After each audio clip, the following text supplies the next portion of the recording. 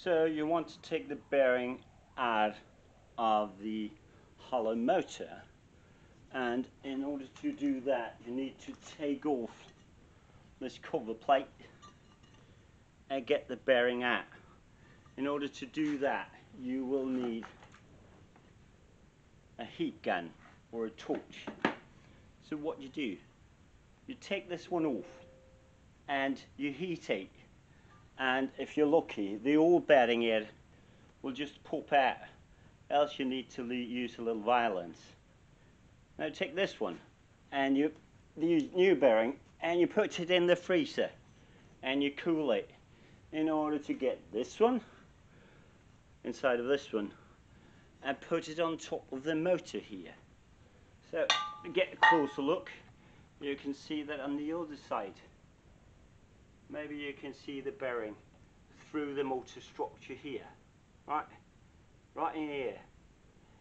So I hope that from InMotion if you had the bad bearings problem that they gave you another uh, piece of uh, motor and uh, wheel with bearing etc but if you have the old one you just need to change this one and it's going to cost you about uh, 550 euros or something.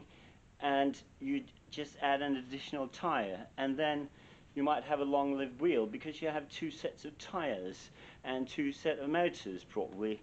So uh, that's what I suggest. So repeating. You see the bearings right there? Okay.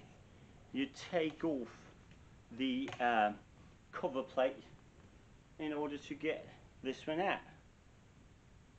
You put the new one in the freezer for a long time and you heat the cover plate with a heat gun and then you have new bearings and then you just reassemble the whole damn thing and you have a new motor for your trusted InMotion V11.